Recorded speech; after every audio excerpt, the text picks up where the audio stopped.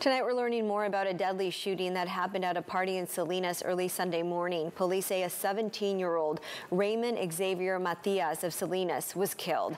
He was at that party on San Isidro Way as a guest. Police have not made any arrests so far and they do not have any details on suspects. The motive unknown.